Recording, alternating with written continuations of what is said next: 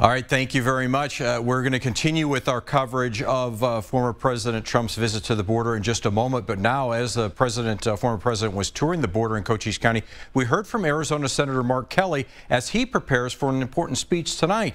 KGUN 9's uh, Tina Giuliano joins uh, me now here in studio with more. Yeah, it is a big night for uh, for Senator Kelly. Oh yeah, it's a big night for a lot of Tucsonans mm -hmm. actually yeah. at the DNC. And Senator Mark Kelly actually says it's the goal uh, to get the bipartisan legislation across the finish line, including more pay for Border Patrol agents and fentanyl detection machines. He says former President Donald Trump's visit is nothing more than a photo op.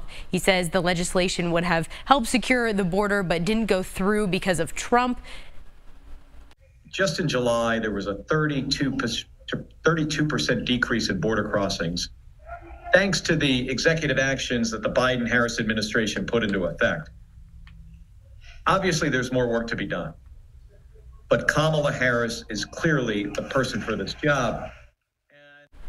He's speaking at the Democratic National Convention tonight. Among other Arizonans that are set to take the stage, his wife, former President Gabby Giffords, will speak, as well as Senate candidate Ruben Gallego. But one Tucsonan spoke earlier at the DNC. Deja Foxx, a University High School graduate, and now she works for the Harris campaign as a Tucson content creator with over 100,000 followers on TikTok. She's the first influencer to speak at the convention.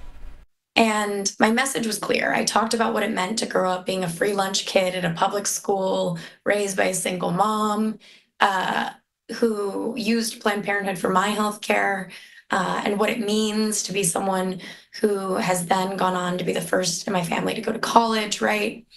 Um, and I got to bring issues to the DNC stage that are top of mind for young people, particularly in swing states like Arizona.